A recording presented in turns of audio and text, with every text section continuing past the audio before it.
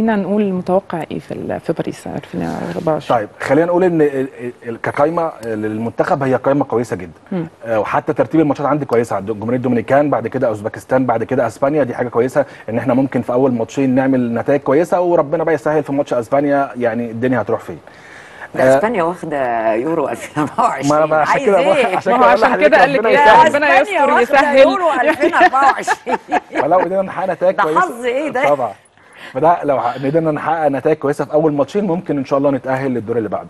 والمدرب مستر ميكالي طبعا من المدربين الكويسين جدا وعنده حتى خبرات على المستوى الأولمبي إنه تأهل مرة قبل كده آه يعني آه أنا أتمنى أتمنى يعني إحنا مش عايزين نقول إن إحنا محبطين لا. يعني أيوة. اللي إحنا قلناه ده مش إحباط إحنا بنتكلم على التاريخ يعني التاريخ وبنتمنى. يعني إنه انعكاسات ال ال ال ال ال الحالة الرياضية في مصر ما تنعكسش على المنتخب الأولمبي إحنا برضو كلنا واقفين ورا منتخبنا أكيد طبعا. ويعني و- ونتمنى نتمنى يعني نسمع كده أرقام يعني نتمنى يعني نطلع من الدور الأولاني إن شاء الله يعني, يعني زي ما عملنا في 2020 إن شاء الله هنعمل في في 2024 آه يعني لأنه فعلا ال- ال- المنتخبات كلها اختلفت.